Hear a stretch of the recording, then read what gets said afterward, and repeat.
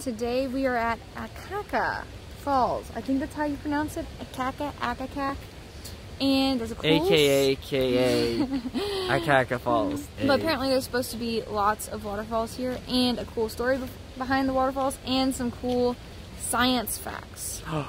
and it's like a 45 minute hike, so, and it's $5. Per person. But let's see how it goes.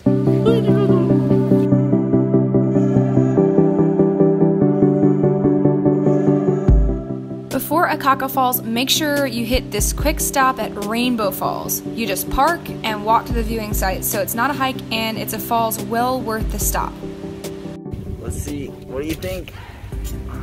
Also, there are vendors on the street selling fresh coconuts, pineapples, and other tropical fruits, and it was quite an experience. We bought the coconut, they cut it in front of us, we drank the liquid inside, and then they cut it up for us to enjoy the meat as well.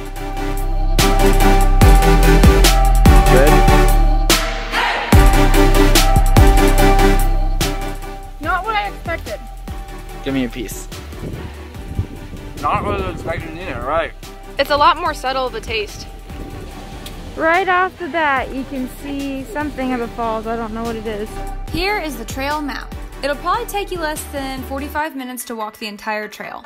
The four waterfalls you'll see are the Kahuna Falls, Akaka Falls, and the two smaller falls at the end. I don't know if they really have a name. The trail is completely paved and very easy to walk, but the only thing that you need to be concerned about is frequent rainfall making slippery conditions. So this is the legend of how Akaka Falls came about.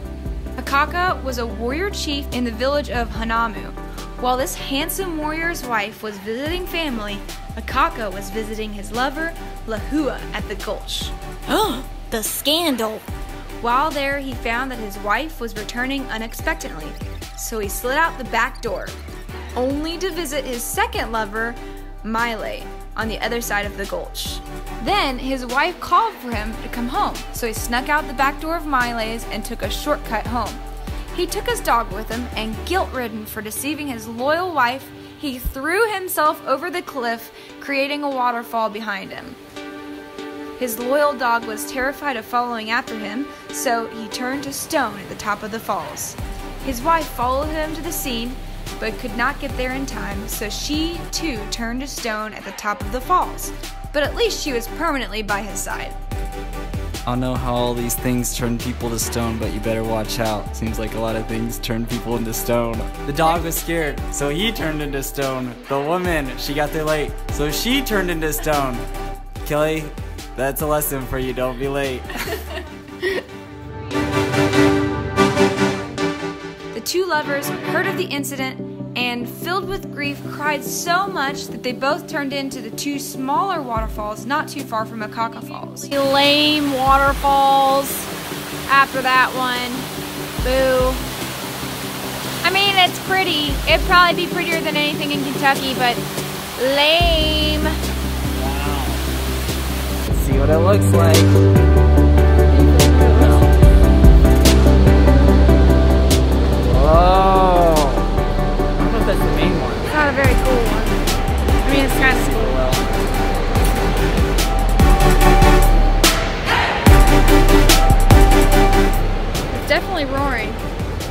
Move on. This was not a Akaka Falls, but if you want to see it, click that like button and that subscribe button, and that would help us out a ton. Is it here? This is it. Oh, people are waiting in line. Yeah, so we'll see the top. selfie together. There it is. Massive. Here. Get...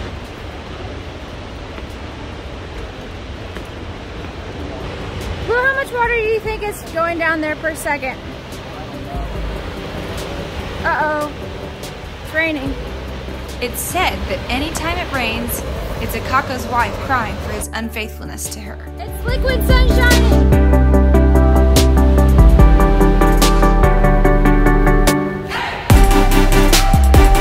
There it goes, it's the. So there's this goby fish that defies our understanding. It's called the oopu. It's able to swim two and a half miles upstream from the ocean up to this waterfall and then proceed to climb up the entire waterfall using a suction cup on its belly. It does this to lay its eggs. Once they hatch, They're washed all the way back to the ocean where they mature and make their trek once more up to the top of the waterfall. That was a pretty cool hike. I think it was worth the 10 bucks. Yeah, I think so too. How many waterfalls did we see? We saw three or four and took us probably about 45 minutes to an hour. Just take your time, enjoy the cool banyan trees and all the cool plants and everything. Just soak it all in. And bring $10. Yeah. It's not worth the $10 if you're just gonna run in and see it and Yeah, leave. take lots of pictures. Yeah. Be a tourist, okay? Embrace it. Yeah, get your selfie stick. Yeah.